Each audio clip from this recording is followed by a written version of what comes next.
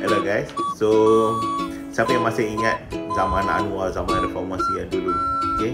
Mungkin uh, kita ni uh, orang kata rindu uh, zaman Anwar yang dulu. Okay, sebab sekarang ni macam-macam. Lain Anwar yang kita jumpa sekarang dengan Anwar yang dulu.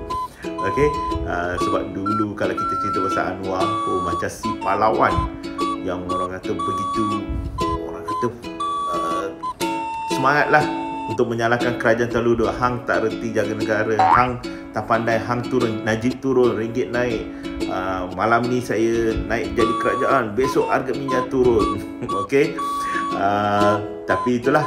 Uh, tak tahu sekarang ni uh, ringgit merudum tak ada siapa yang orang kata financial avengers ataupun DP, MPDP ataupun siapa-siapa tak datang tolong Anwar ke untuk backing dia. Sebab kalau tengok balik ucapan Anwar saya rasa saya pun tak pasti kalau dia tengok balik ucapan dia sendiri mungkin dia pun gelak yang dengan berapi-api dia kata Zafrul tak reti jaga negara Hang tak reti jaga, jaga negara Masa at least rasanya RM4.50 RM4.40 sekarang ni dekat RM4.80 sen. Okey. Jadi siapa yang lagi teruk jadi kerajaan atau menjadi menteri kewangan ni? Okey, dulu dia menyalahkan dengan orang kata dengan gaya superhero. Sekarang ni tak tahulah nak describe pada apa? I leave uh, blank you all uh, isikan lah. Okay dan kemahiran uh, Anwar dalam orang kata spin. Ataupun kita panggil spin Dr. Anwar lah. Oh cara dia buat tu okey? Uh, macam peribahasa contoh tornado terdengar seperti angin sepoi-sepoi bayu. Okey mungkin Anwar boleh jadi consultant ataupun uh, weather forecast forecaster. Okey tapi nak macam mana? Uh, Anwar ni spin doctor sejati. Okey uh, mungkin uh, dia boleh buat uh, tornado orang kata macam ASMR alam semula jadi. Okey uh, tapi itulah. Kita dengar ucapan ni pun kita rasa macam kelakar. Okey. Saya tak pasti kalau Anwar ataupun menteri kabinet yang lain kalau mainkan video-video yang sebelum ni yang dia kutuk kerajaan sebelum ni uh, apa nilai ringgit merudum saya tak tahu apa perasaan ni cuba kalau Zafrul mainkan uh, video yang dia kena kecam tu agak-agak apa apa orang kata uh, minit mesyuarat uh, jemaah menteri ya. Zafrul, can you help us to find out?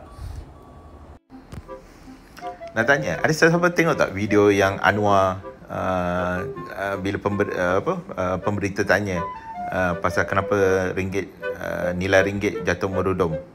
Okey? Jawapan dia senang je. Dia terus tunjuk dekat uh, governor bank negara kita.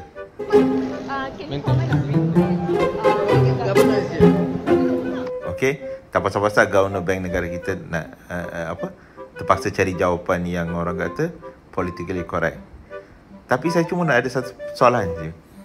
Okey? Ini ke cara seorang ketua kerajaan ataupun perdana menteri jawab? Okey?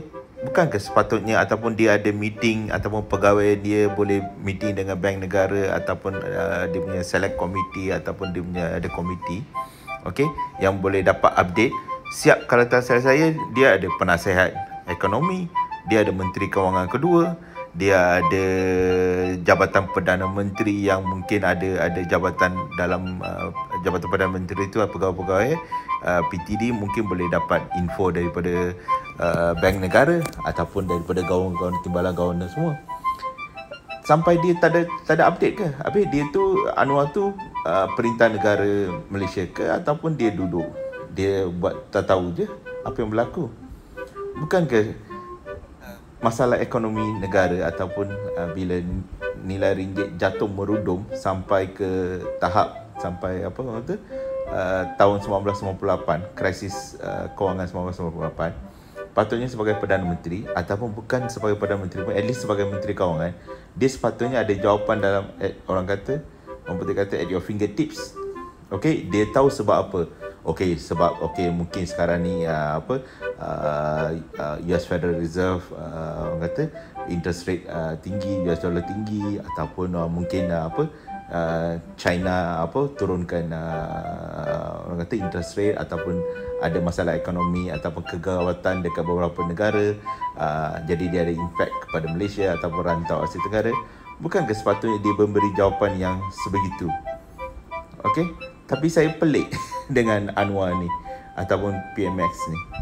Okey kejap dia dulu kecam Tengku Zafro Menteri Kawangan Kerajaan sebelum ni.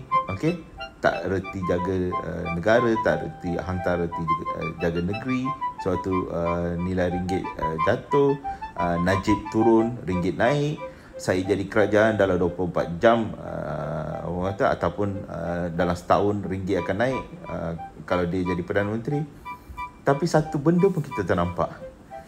Y'all perasan tak? Adakah kita sebagai rakyat Malaysia ni kita kena tipu dengan dia? Fikir-fikirkan